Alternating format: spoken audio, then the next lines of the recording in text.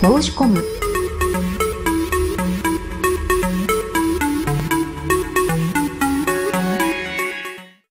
中優新歩ブルーのサンマルチの死に捧げる WWE 王座ダッシュなるか金曜8時のプロレスコラム。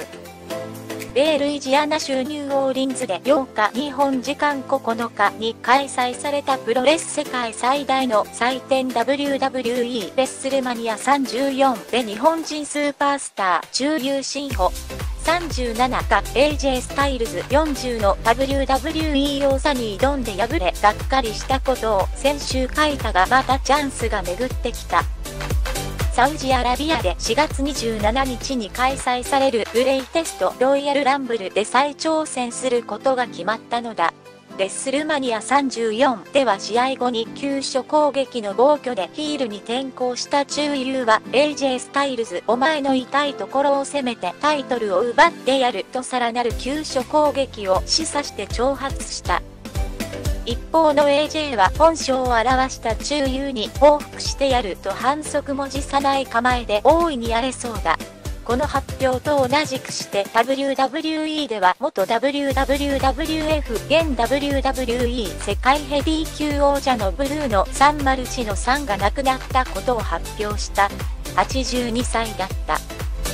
19日 WWE ジャパンの公式ツイッターでは電動車ブルーのサンマルチの死が82歳でご逝去されました。心よりご冥福をお祈りいたしますと伝えている。サンマルチの3は WWWF 世界王座を日本にちらしめた存在として有名だ。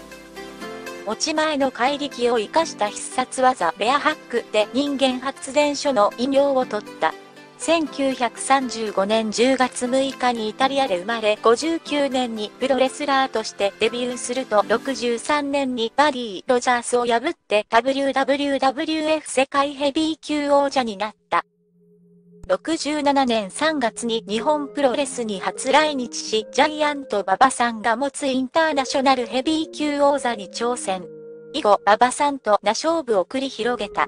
馬場さんが72年10月に全日本プロレスを旗揚げすると最初のシリーズに参戦し友情を見せた。そして1999年5月2日に東京ドームで行われたジャイアント馬場引退試合、馬場さんの追悼試合ではジン・キニスキー・ザ・デストロイヤーと共にリング上で10カウントゴングを聞いた。これが日本のリングでの最後の勇姿となった。